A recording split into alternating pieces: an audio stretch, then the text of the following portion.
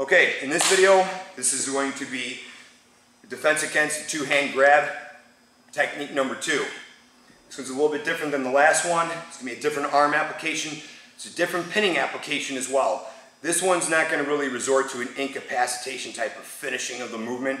It's gonna be more of a neutralization type of thing. There is gonna be a strike at the end, but when you see how I apply it, it's, uh, it's gonna be a nice type of pain compliant technique, plus the way how you have the guy's arm jacked up and pinned out, and the way how you're basically applying it just completely neutralizes them to where they can't move. If they start to move, then your pain is at your fingertips. You can deploy it at any time within that, that pinning application and make him do whatever the fuck you want him to do. So that being said, obviously, same scenario. A lot of these scenarios, you automatically have the asp deployed, okay? So Nick comes in and does this double grab, okay? As he grabs, at this point, you're gonna strike underneath his elbow. You're gonna carry through. This has to get applied to the back of his tricep, so you're gonna use your arm to get this up. Now we showed you a technique earlier, stand back up, of this elbow locking technique. Now we have a different elbow locking technique, so you're basically gonna catch us behind his elbow, the upper part, okay? So if we move this way, this, then your elbow. You're gonna have it on the bottom part of the tricep. If you have this here, this still works, but he can maneuver around that and he can punch me, okay? Once I have this application here, because the way how my arm is on an angle, I'm not grabbing up there because there's room for escape. So I wanna make this as small as possible. So basically, that's saying, give him the short end of the stick, take the short end of the stick. Don't grab all the way up there because there's room for escape. Grab as tight as you can and you roll this over as that elbow lock happens. Okay? There's things that you can you can easily deploy now from this position. You bring him down, you can go right up, do a knee strike right to his face, let him go, hit him if you had to. But we're not going that route. So right from here, you get this elbow lock, you take him straight down to the ground, you roll over on top to where you have the pinning arm locked up on your thigh, and you're leaning forward at this. If there starts to become a struggle, go right for that tricep, look at his face. You just start rolling this right on that nerve, or you go back and forth. It doesn't hurt as much as rolling, especially if you're rolling towards you and in. Then you can strike with the baton on the side of the head, or you can apply this right to his head and go back and forth or roll. If you get the actual part that's padded, this is going to roll nice and easy because it's smooth metal. Once you have that and you roll it, it's going to pinch the skin. Correct? You feel that? And the hair too. And the hair. because I have this little added feature, I could use this for one last good strike for good measure to make sure he stays down. Then at that point you get up. If you needed to, you can come back up and smash that elbow and walk off if he's still fighting you. Okay? Hopefully what we just did would be enough and take my wallet, take my girlfriend, don't fucking hurt me anymore. Hopefully that's the case. This is one of the less lethal techniques that we'll end up doing. This one and the last one, the one that we just previously did. So he comes and grabs again. So right away, strike. You want to hit that elbow. See the reaction. Boom! Come up underneath this other arm, lock this up on the tricep, roll him over. If you don't lock this up right, he bends his arm. Then you're going to have to move to a different application, but then that hand's free to punch, and he's free to escape. That's fine. No, no, go back away. That's fine, because then you can still roll this over at that point, because you're using the asp, and then still end up in the same exact technique. Now you're just going to be more pissed because of the fact that he escaped from what you did. So there's options. There's definitely options.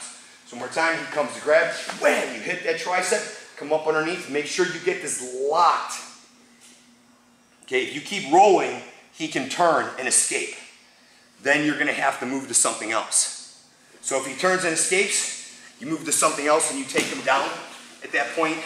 Now you have this different type of arm lock or get him over at this point where you have this lock. Now if you just stay there, he can roll out. Roll out to your left, he rolls out. Now you're in front, boom. He takes it in the mouth. And that's what she said. You get in this position and you're going across his body, so you make sure that you, you keep him pinned. If you have to, you just place your hand on his shoulder and it locks up.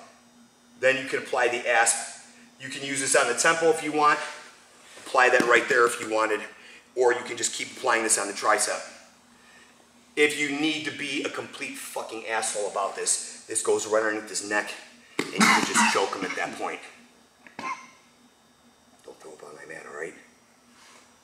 See how fast that works? so there's a lot of different applications you can do. And it's minimal amount of work. You know, work smart, not hard. You don't have to go buck crazy with this stuff. If you applied the application correctly, you're gonna get 100% effectiveness and 100% result. And that's what we want. So if there's mistakes that are made, or applications that aren't applied 100%, you can turn around and you can reverse, do something else. But you have to understand how this works and how this works anatomically with the body.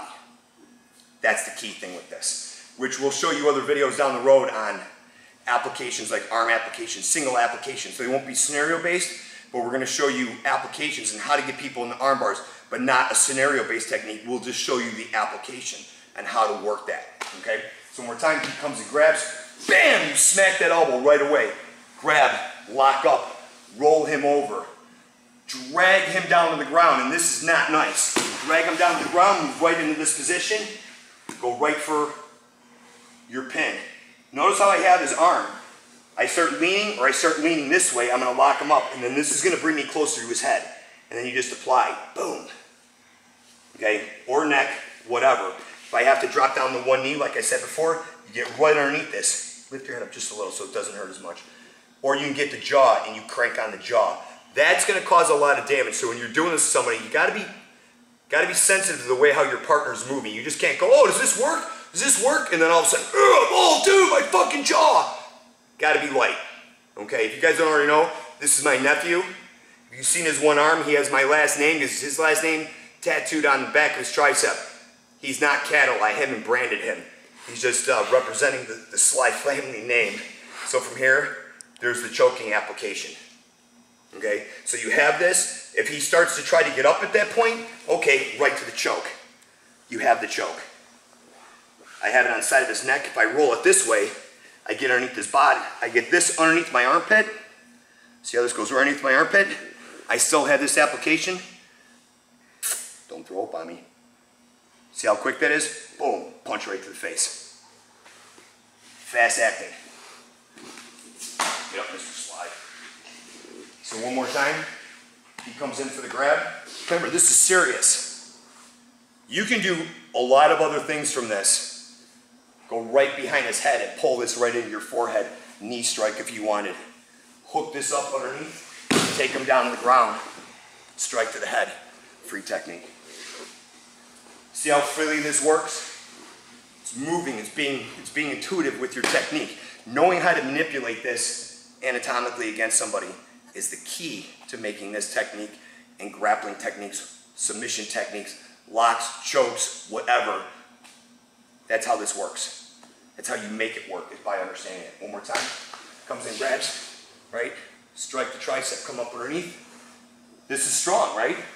If I have to loosen them up a little bit, boom, there's the knee strike. Then I roll them over at that point. Lock them up, right up on top, start applying. Oh, you want to mouth off? Okay. Here's the choke. He starts rolling. Okay, now I get to this. There's the choke. Then I can pectoral, right from there, I can grab on the pectoral, skin pinch the pectoral, nerve, nerve, whatever, pressure point. Grab his arm, so then I go right on top of his arm so he can't do anything. The other hand, he can start hitting me with this. Okay, if I start applying that, it's gonna be a little bit different. Then I can go right for his throat as well. Then I have this. Look where he's at. Oh, now I got the armbar. Can you move? I'm not gonna try. He's not gonna try. Why not? His Uncle Lenny's gonna do something even worse now. So there's a lot of stuff you can do with this. So within that technique, I probably gave you like another 15 examples of what you can do.